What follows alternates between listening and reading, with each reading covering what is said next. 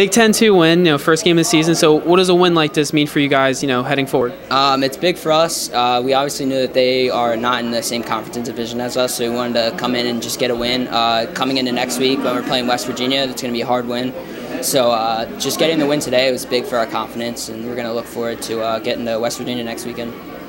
So, scoring 10, to, uh, 10 goals in the first game, how do you guys ensure that you just don't waste all your offense in one game and you can really spread this out in a whole entire season and put together a, a complete season? Um, well, we tried to work on a lot of the stuff we did in practice, and uh, a lot of the stuff that we were working on actually came through tonight. Uh, so it, it, helped us a lot, um, and we're going to uh, continue into next week. Um, we're hoping to keep rolling, score probably 10 goals next week, hopefully, uh, and just keep going.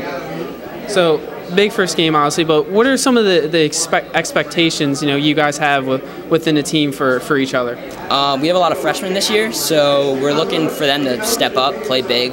Uh, we we we're looking to get our systems rolling, um, and yeah, just work on the stuff that we've been working on in practice, get it down so that when uh, second half of the season comes around, we're we're rolling through and uh, playing good hockey.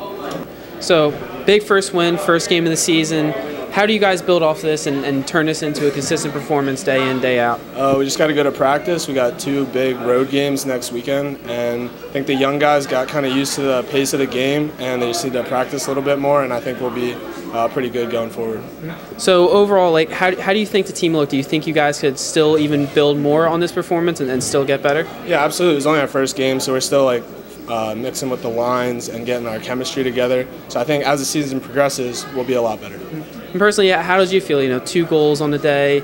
You know, your, your first game of the season. How did you feel out there? I felt really good. Uh, trained a lot this summer. I know a lot of guys on the team were working hard this summer, and I think it paid off out there. We beat them pretty good. So first game of the season, big 10-2 win. What's what's sort of the vibe around the locker room after a big win like this? Yeah, I mean, we uh, we came in, we just wanted to come out, you know, have some good energy and get uh, you know get the boys going a bit. But it was good to get uh, get 10 goals. That was fun. It was a good time. That second period just looks like sort of all offensive explosion. You blink, you guys score again. You blink, you score one more time. What, what was clicking for you guys in that period? Uh, I mean, the first period we got a lot of shots. We just felt like it was a matter of time. We just had to keep keep putting pucks on net and uh, you know, keep working. How, how do you guys build on this to, to turn this into somewhat of a consistent performance throughout the season where, where you guys play like this? Uh, I think we got to make this like the new norm. We got to come in and just get going right from the beginning. Have a good first period. That's what uh, we struggled a bit last year. Uh, first periods weren't always great, but uh, I think we can work on it.